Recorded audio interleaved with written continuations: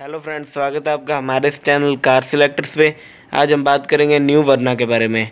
आज हम आपको न्यू वर्ना के बारे में, उसके फीचर्स, उसके प्राइजेज़ उसकी लॉन्च डेट, उसके न्यू लुक्स, सारा कुछ बताएँगे तो वीडियो को एंड तक देखें। और जिसने हमारा चैनल सब्सक्राइब नहीं किया, वो कृपया सब्सक्राइब कर लें। पहले हम इसकी फ्रंट प्रोफ़ाइल की बात करेंगे।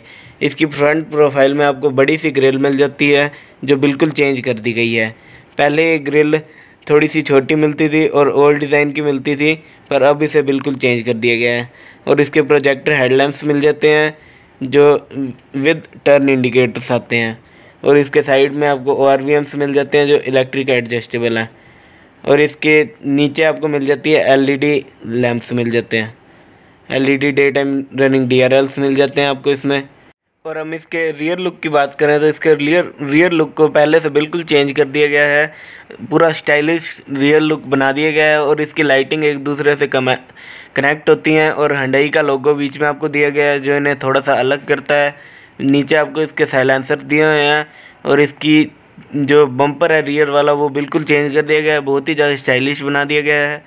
इसके रियर बम्पर में आपको नीचे ब्लैक फिनिश मिल जाता है जहाँ पर आपको पार्किंग लाइट मिल जाती है विद, और इसकी रियर लाइट्स में आपको इंडिकेटर्स मिल जाते हैं और एलईडी लाइट्स मिल जाती हैं। बिल्कुल चेंज कर दिया गया है इसका रियर का लुक ऊपर वाली साइड में देखें तो आपको इसमें शार्प फिन एंटीना मिल जाता है, जो इस कार पे बहुत ही अच्छा लग रहा है। बाकी रियर लुक इसका बिल्कुल चेंज है, पहले वाली वरना से। आप हमें कमेंट करके बताएँ, आपको इसका लुक कैसा लगा? 2019 वाली का अच्छा लगा क्या? 2020 वाली का। और इसकी लॉन्चिंग की बात कर लें तो इन इंडिया में इसकी लॉन्चिंग हो जाएगी 2020 तक 2020 अप्रैल तक इसकी लॉन्चिंग हो जाएगी।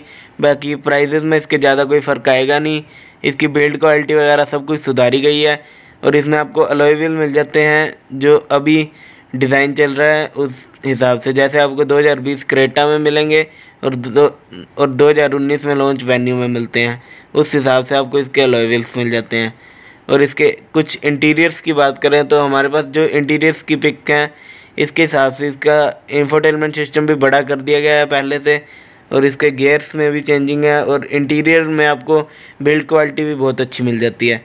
बाकी इसके इंफोटेनमेंट सिस्टम में Android auto Apple CarPlay और ब्लू लिंक का भी आपको इसमें ऑप्शन दिया गया है इस बार हंडई के द्वारा। तो ये बहुत ही अच्छा फीचर्स है। हंडई ने इसकी फ़ोटोज़ पहले भी हमें दी थी, पर उसकी वीडियो में हमने बनाई हुई है तो आप पहले वाली वीडियो भी देख सकते हैं। उसकी लिंक हमने डिस्क्रिप्शन में दी है तो वो वीडियो भी ज़रूर देखें। और इसके इंजन ऑप्शंस की बात करें तो इसमें आपको 1.5 लीटर का पेट्रोल इंजन मिलेगा और 1.5 लीटर का डीजल इंजन मिलेगा। B S S compliant engine मिलेगा आपको इसमें, जो किया सेल्टोस में सेम इंजन मिलता है। किया भी इनकी ही कंपनी है हंडई वालों की। जिसे इन दोनों कंपनियों का मेन नाम है हंडई मोटर्स और इसमें आपको सेफ्टी फीचर सेम मिल जाते हैं।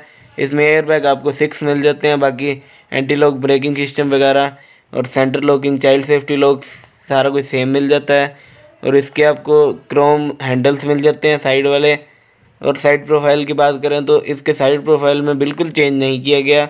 डोर्स इसके आपको बिल्कुल सेम मिलते हैं। बाकी बिल्ड क्वालिटी तो अच्छी कर ही रही है कार की।